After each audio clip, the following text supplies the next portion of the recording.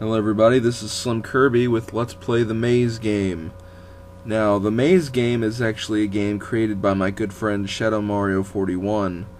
He created this a long time ago, and I played the, through the game once, it was pretty interesting, and then immediately I got the idea later on to do a Let's Play of this game, since I had software which could uh, film the screen of my computer, so I decided that, you know what, I'll film the Maze game. Uh, this is going to be a short little project, as I mentioned in my Pikmin LP. So let's get started. Let's get started with the maze game. Here it goes. Yes, it's a maze. Uh, the goal is you want to collect all the checkered flags, or you touch the checkered flag to move the to the next floor of the maze. Uh, the flag is obviously the checkpoint or ending mark. And um, as this is pretty easy, but as you go up floors, uh, more interesting things happen. Um, as you can see, we got some other items along with the checkered flag. Uh, these can give you more points. You don't have to collect these items, but if you want a high score, you should probably collect these. Not that there's a competition or anything, but whatever. Sorry if the video quality is kind of bad. Uh, just trying to work with the setup. Okay, next we have to collect blue diamonds. Uh, when you collect all the blue diamonds on the screen, the blue note blocks will disappear. Because as you can see, it's currently blocking the checkered flag. This cannot stand, so the green Care Bear reject must quickly collect all the blue diamonds before... Well, I don't know. I don't think he I don't think you can die from a time limit. I don't remember there being a time limit. Anyways, uh, a few things I want to discuss. Um, this game does have save states, and I am going to be using them for some of the future levels. And um, as you can see right now, the sizing window changed, so I had to adjust that. Sorry about that. Anyways, um, yeah, uh, I will be using saved states in some of the future levels. Okay, to get rid of the brown blocks, you want to collect yellow coins. Uh, once you collect all the yellow coins, the brown blocks will disappear. Okay, other things I want to talk about. Um, I'm not going to be updating this project as uh, normally as I would my other projects. Just because, eh, it's kind of a hassle to actually make the videos for this. What would normally take me about a half an hour to work on a Pikmin video takes about an hour and a half to work on this. And I have to, seeing as I have to edit out all the failures and all the save state usage and stuff. Um, also, as you can tell, the audio is uh, are Nintendo games or video games that Shadow Mario 41 likes. Uh, they're not all Nintendo games. They're all Nintendo games so far, but you may find something different along the road. And uh, speaking of the music, um, it kind of gets out of sync with the video, which I noticed in my uh, Let's Play Hearts and uh, during a psychology lecture video. But it happens. Okay, now we have to actually deal with enemies. Uh, we have little um, blue and white ghosts. They almost look like Pac-Man ghosts. Uh, blue ones move vertically, and uh, wait, no, they move horizontally. What am I talking about? And uh, white ones move vertically. Jeez, I am not good at that. Okay, this is a pretty simple stage. Just move as you normally would. Also, something about this game, if you want to download this game, um, I can give you the link. I'm sure that Shadow Mario 41 wouldn't mind if you download his game. But, um, word of warning, the hit detection for the enemies is really, really sensitive. It's, uh, even when it looks like you don't hit an enemy, uh, it, it registers as you hitting the enemy. So, yeah, you have to be very careful because uh, for a short passageway, you'd think to move like as soon as uh, the ghost moves to the next square. Well, they have to actually be in that next square's radius because if any part of their um, sprite is touching the square you're in, um, you basically have to start the level over again.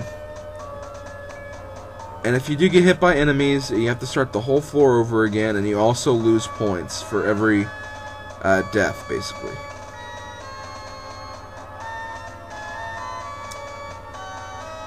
Let's navigate around these, these little ghosts.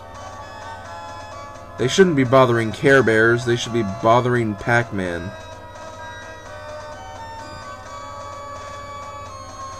Okay, this is floor 6, I believe. Floor 7 is ridiculous. I'm going to tell you right now. Floor 7 is really, really ridiculous. There is no reason why that floor should even be on this uh, this far, this early into the game. Look at this. This seriously took me about one, two, three, four, five, six. This took me about seven different save states. As you can probably tell by watching this. And I had about like 10 minutes of footage of me just trying to beat this level. It's not incredibly hard if you just look at all the ghost movements, but still, it's very annoying. And just the fact that this level is so far, so early in the game, too. Uh, also, I should mention that there are 40 levels in this game. There is a hidden level 41 that you can actually do once you beat level 40, but it's not required to beat the game. So attempt it at your own risk. And obviously, uh, there are 41 levels because the creator of the game is Shadow Mario 41. Yes, he is that nerdy. Speaking of Shadow Mario 41, go to his channel to watch Epic Marth Counters. And his uh, top 5 best battles in Legend of Zelda The Wind Waker. Had had to do a little advertising for him. Which means he should do some advertising for me, but I don't think it's really going to help because I'm a lot more popular than he is at this moment. Okay, no new features yet, but as you can see, we have a new road ahead of us. So take it a little slow at first.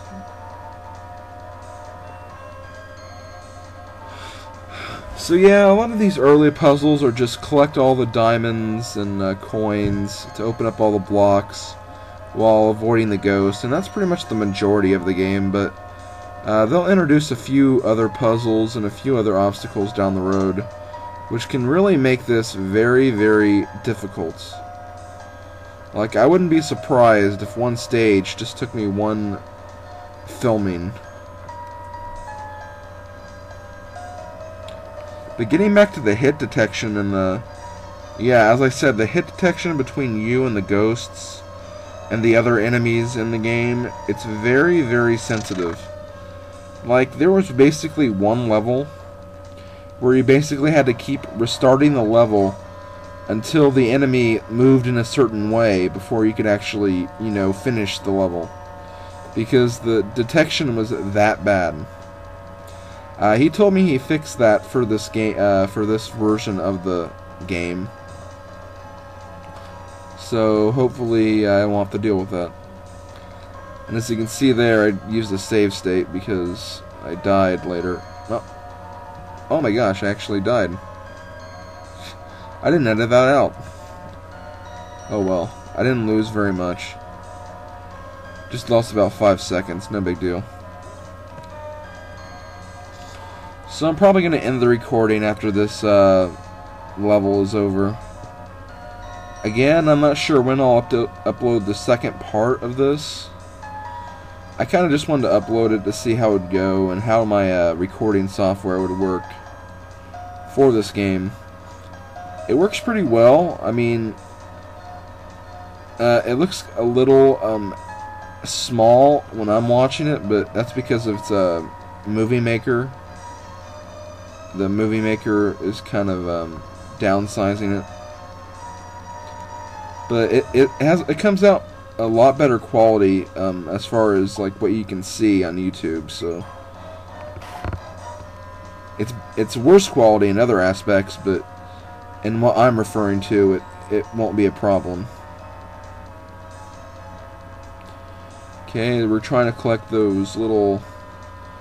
What are those things? Are they like crystals or something? I don't know.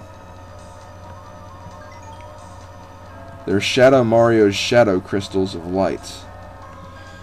I know that doesn't make very much sense. Shadow Crystals of Light, but whatever. That's what I'm going with. Okay, I'm trying to figure out what I'm going to do for this. I think I have to go up there. Yeah. Okay. Music stopped, and uh, getting ready to end this level, and that's it. Uh, thanks for watching. Let's play the Maze Game Part 1. See you next time when we go for Part 2 at Stage 9. Later.